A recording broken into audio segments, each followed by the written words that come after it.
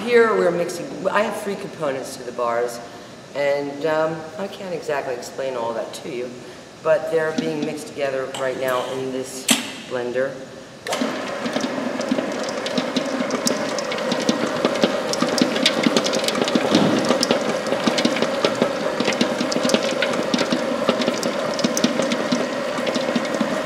Let's take a look at it.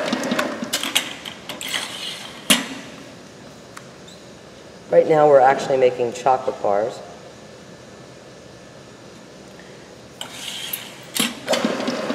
And it's almost pretty much done. We're just incorporating three different aspects of the bar together.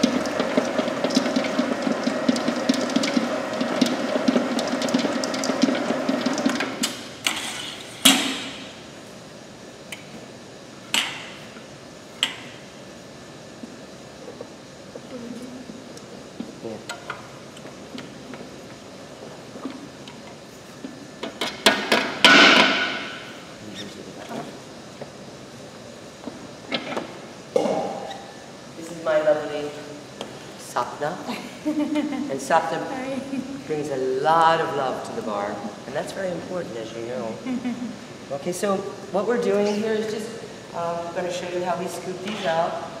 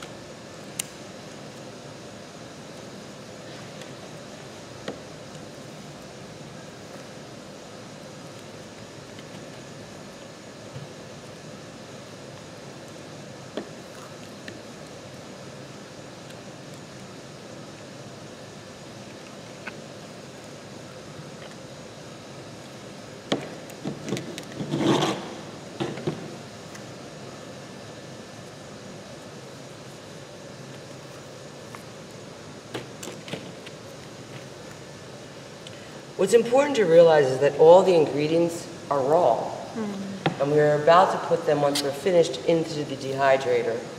And we dehydrate at 115 degrees. So all of our the ingredients remain enzymatically like a raw food. Looks like a chocolate brownie once you eat it, but it doesn't. it isn't the same value.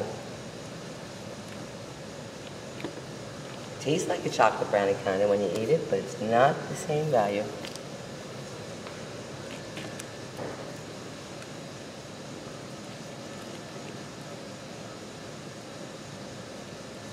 We'll do four rows only.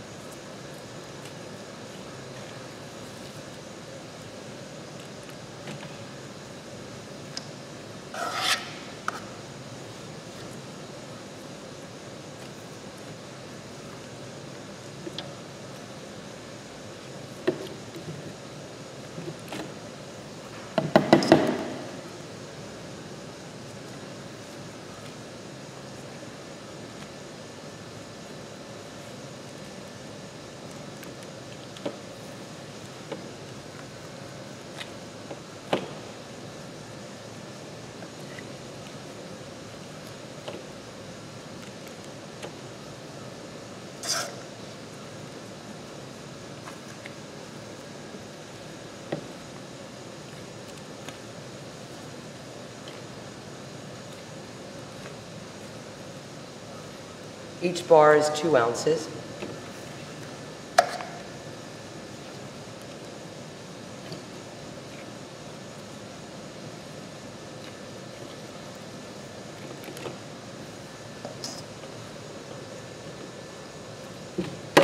That's it. And then we're going to take these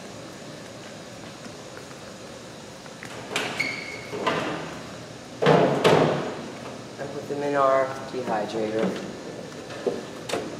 The temperature is set at 115, and these will dehydrate for six hours. Peekaboo. There you go. And that's it. That's our process.